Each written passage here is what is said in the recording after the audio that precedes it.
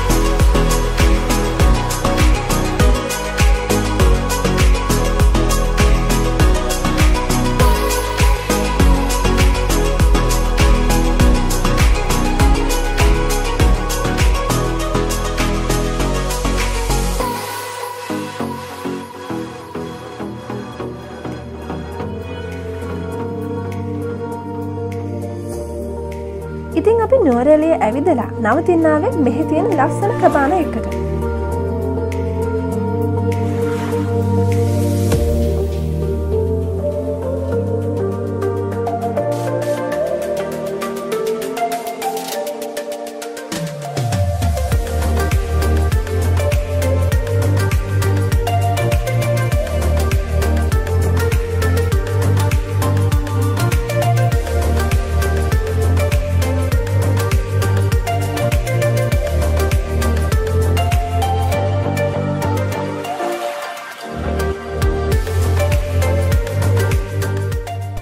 අද අප ඇවිත් ඉන්නේ ලංකාවේ උසම කන්ද. ඉගෙන පිදු තලාගල කන්ද.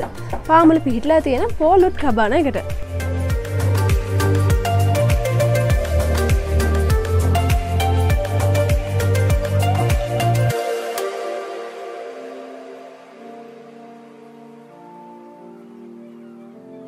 මේ කබාන ගැන කියනවන මේක තනිකර හදා තියෙන ලීවලින් එතර මේක ගොඩක් ලස්සන ස්ථානයක්. මේක හොඳ විය පොයින්ට එකක්. මොකද අපිට මෙතෙන් නාවහමුල් නුවරලේ ටවුන්නිකම් පේනවා. ඒවගේම තමයි නුවරලේ ටවුන් එකට මෙතනින් ල තියෙන්නේ කිලෝමිට තුනක් වගේ ඉතාමත් කෙටි දුරක්. ඒවකම තමයි තව කියන්න ඕනේ අපි මේ කබානකට ආවහම කබානක ඉස්සරහින් අපිට පේන්න තියෙන්නේ ලවස් ලීප් දියල්ල ඒවගේම තමයි පිදුර තලාගල කන්ද පාමුල අපිට මෙතෙල්ල දැනගන්න පුළුවන්. ඉතින් ඔයාලත් එන්න. මේ ප්ලේස් එකට ඇවිල්ලා එක පාර එක්ස්පීරන්ස් කරලා බලන්න කොහොමද කියලා. ඇතර මෙතන සර්විස එකත් ගොඩක් හොඳයි. කෑමත් ගොඩක් හොඳයි. ඉතිං මම හිතන ආල එක පාර මෙතෙන්නාව පාට ආත් පාර මෙතෙන් එන්න හිතේ.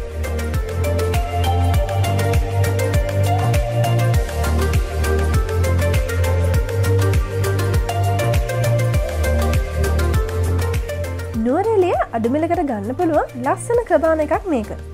උදේට වගේම රෑටත් ලස්සන වීව් එකක් තියෙන සුවපහසුට ඉන්න පුළුවන් හොඳ ප්ලේස් එකක්.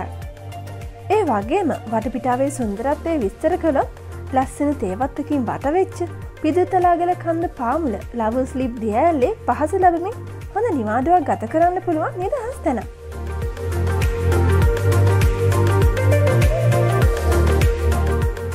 මේ කබානාය කේන්දලා ලවස් ලිබ් දියඇල්ලට තියෙන්නේ මීට පන්සියක වගේ පොඩි දුරක්.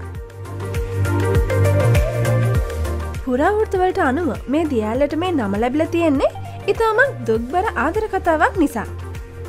ඒ තමයි මේ නුවරලේ හිටිය රාජකුමාරයෙක් මෙහ ගමක හිටිය ලස්සන ගැහන් ළමයක එක ආදර සම්බන්ධයක් පටන්ගරගෙන තියෙනවා.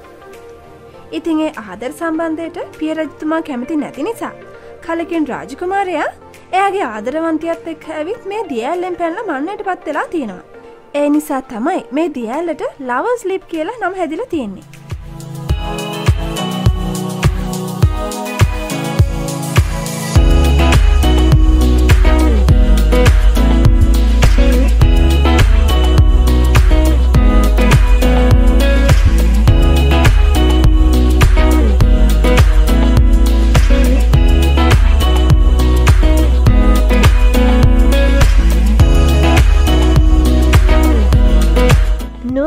ගොඩක් සුන්දරස්ථාන අරබන්න යන්න මෙතන ඉඳලා ගතවෙන පොඩි වෙලාව. ඉතින් මේ පෝලුඩ් කබාන කියන්නේ ඔයාලටත් ඇවිල්ලා නුවරලිය සුන්දර පරිසරය හොඳින් විඳගෙන ඒ අවට සුන්දරස්ථාන නඩබන්න පහන්සුව යන්න ලැබෙන ප්ලේස එකක්. ඉතිං ඔයාලත් නුවරලිය ආපු වෙලාවක ඇවිල්ලා යන්න අමත කරන්න එපා. එහෙනම් අප ට්‍රවල් විත් හබි අපි YouTube චැනල එක ලයික් කරන්න ෂය කරන සබස්ක්‍රයිබ් කරන්න අමත කරන්න එපා. එහෙනම් අපි නැවතත් මේ වගේ ලසන් ප්‍රෝග්‍රම් එකින් හමුුව.